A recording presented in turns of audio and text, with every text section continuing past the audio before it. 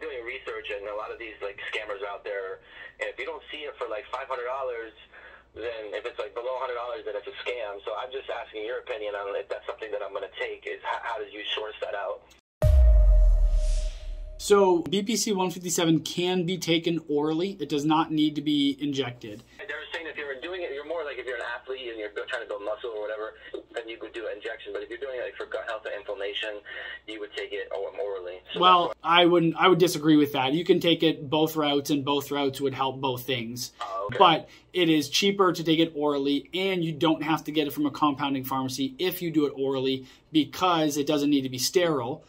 And so, where you run into the risks is if you are buying something off a website that you're injecting into your body and it's not sterile, is you run the risk of infection and bad reactions. If somebody has gut issues, how long does somebody should be on that? They could be on it for a year. They could be on it for two months. Everybody's going to be different. It depends on. If I do, if I do should I try it for like two months and then get off of it and then?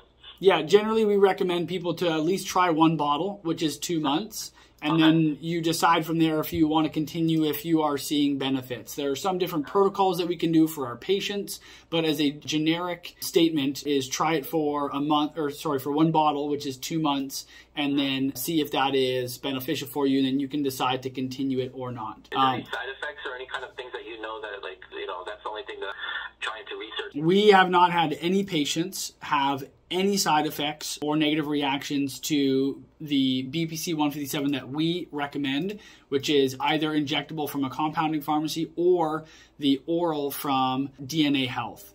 There are people online who have discussed different side effects that they've had, such as emotional changes or other things like that. However, None of those people I've ever confirmed were taking, they were either doing injections from a research chemical website, which you can't guarantee that you're even getting what you say, or there could yeah, be yeah. something in there, like an endotoxin, that could be contributing to those mental changes, or the oral forms they're taking are not from the supplier that owns the patent for the proper best absorbed version. So there's too many variables on those things. So some people have reported side effects. We have not had a single patient report side effects in the four years that we have been using this with our patients. And so I'm confident that, you know, the chances of you having side effects are extremely, extremely low if you use what we deem to be trusted sources which is injectable from a compounding pharmacy, or the oral from DNA Health.